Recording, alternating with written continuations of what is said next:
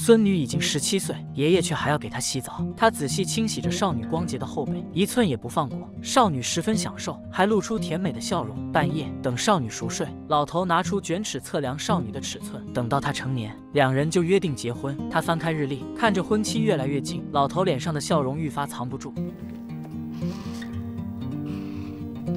做完一切，老头也上床，每天必须抚摸一下少女的肌肤能入眠。原来他们并不是爷孙。少女在七岁时被老头捡到，随后就一直住在这船上。十年来，两人相依为命。老头每天都会从岸上再来钓鱼客，这便是他们唯一的经济来源。一来二去，大家很熟了，自然也知道两人的事情。每次少女都会给他们送上啤酒，可总有客人对她图谋不轨。炸毛男一把拉住少女，帽子男趁机将她搂在怀中，说着说着，他的手就不老实了。这一幕正巧被老头看到。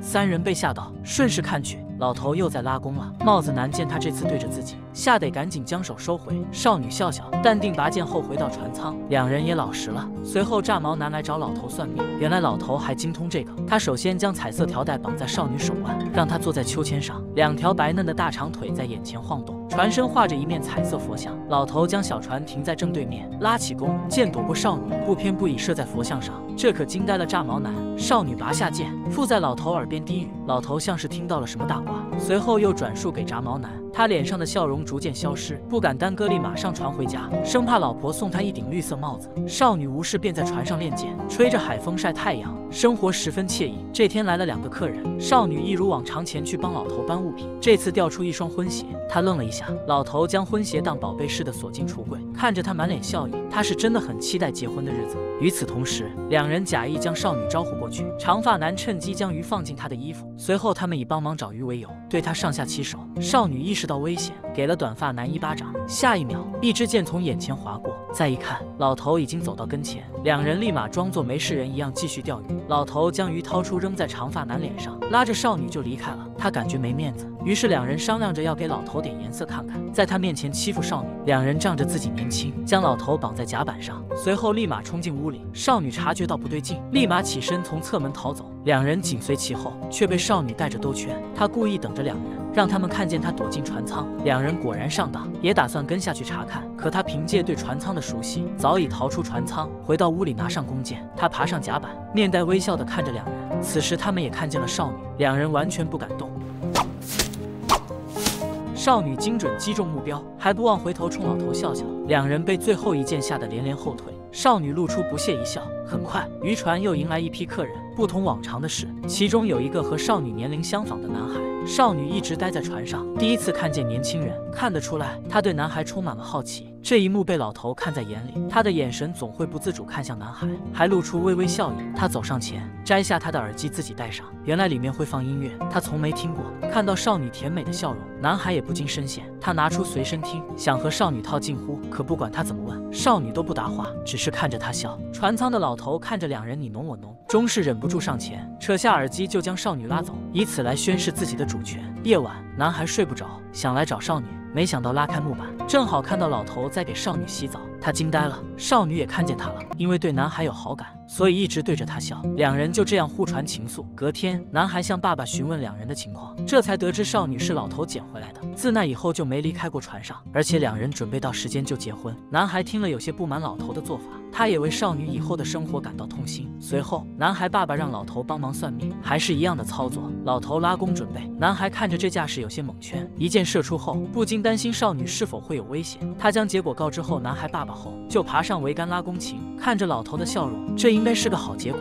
很快，男孩一行人就要回去了。少女满脸不舍，他在临走前将随身听送给少女，两人就这样对视了很久，一切尽在不言中。少女就带着随身听给男孩送信。自那以后，少女天天带着随身听，就连老头说话也不理。她酸的不行，一把抢过直接扔掉。少女瞪着他，表示自己的不满。洗澡时也不再顺从老头，就是闹脾气，气得老头大半夜跑去拉琴，就连老头送的礼物也直接扯下扔掉，还故意坐到客人身边，甚至贴了上去。老头气疯了。直接将客人赶走，晚上直接将日历剪去好几天。少女将剑对准了老头，可最终射进海里。这一箭代表了他的情绪，代表了他的不满。老头看到此景也不再说什么，他知道少女的心已经不再属于他。趁老头不在，少女换上婚服，在海风的沐浴下，戴着没有连接的耳机，尽享对男孩的思念之情。没过多久，男孩再次回来了。少女又恢复之前的笑脸去迎接。她望眼欲穿，唯独向男孩伸出了手。她全身心都在男孩身上，没发现老头这次回来还带了两只鸡。两人在甲板上开心的拍照。老头怒火中烧，一箭射在沙发上。少女死死瞪着他，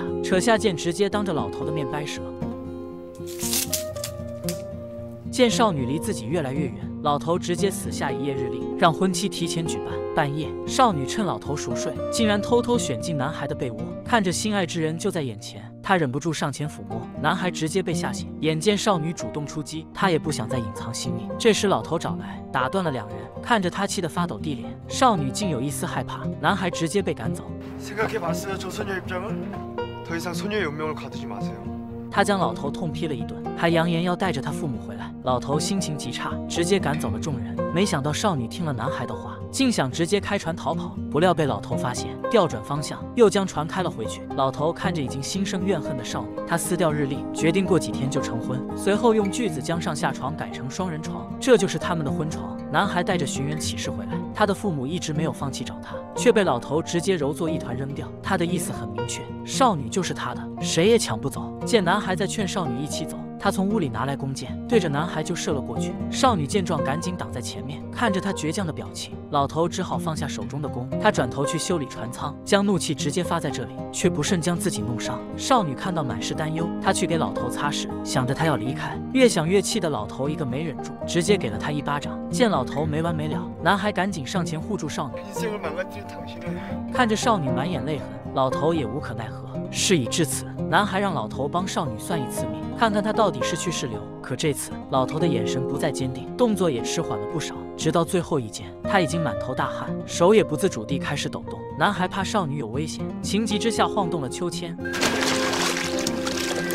上岸后，少女将结果告知老头，他没说什么便离开了。结果已定，老头知道再留也没用了。隔天一早，两人乘船离开，没走多远便开不动了。原来小船的尾端被套上了一根麻绳，而老头已将另一头套进自己的脑袋，他已被勒至门槛，眼睛已经充血，浑身动弹不得。少女这时察觉了异样，连忙将麻绳砍断，老头就此得救。少女将小船开回，她赶忙将麻绳取下，眼里满是心疼。看着老头此等模样，她妥协了。第二天一早，两人便在甲板上举行仪式，男孩就在旁边默默地看着这场不平常的婚礼，喝了酒，吃了枣。放了鸡，就算礼成了。两人来到小船，老头解开少女的衣服，亲了少女一口后，便默默走到一旁拉起了弓琴。少女听得如痴如醉，小船摇摇晃晃，她很快便睡了过去。老头冲天空射出最后一箭，接着张开双臂，纵身一跃跳进海里。老头再也没上来。梦中的少女像是被操控，身体不自主的挪动。突然，一支箭从天而降，正是老头射出那只。随后，少女不断扭动着身躯，像是在迎合什么一般。事后，少女缓缓起身，身下却出现一抹红。最后，两人带着少女离开待了十年的渔船。此时，渔船开始下沉，